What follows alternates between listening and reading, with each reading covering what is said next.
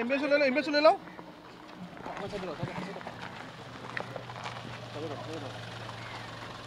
পিছুৱাই আহক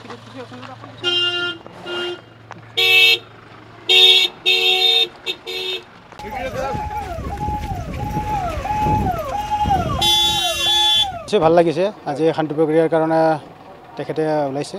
আমি স্বাগতম জনাইছোঁ। চল্ভ হ'ব লাগে। নাই নাই নাই এইটো মানে বিশেষ হেৰি নাই। আমি ধৰ আহিছিলোঁ মানে আদৰণি জনাবলৈ। শান্তি প্ৰক্ৰিয়াটোৱে বিচাৰোঁ আমিও।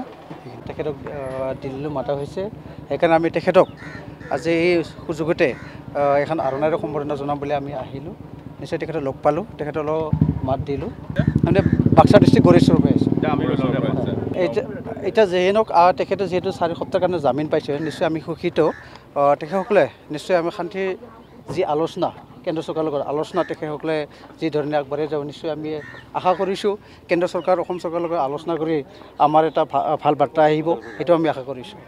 নিশ্চয় আমি শান্তি চুক্তিৰ মাজতে নিশ্চয় আমাৰ যি সমস্যা এই সমস্যাবিলাক আলোচনাৰ মাধ্যমেৰে সমাধান হ'ব বুলি আমাক কৰিছোঁ আৰু নিশ্চয় আমি ভিতৰলৈ আমাক যাব দিয়া নাছিল আমি বাহিৰত আহি অলপ তেখেতক অলপ মাত দিলোঁ।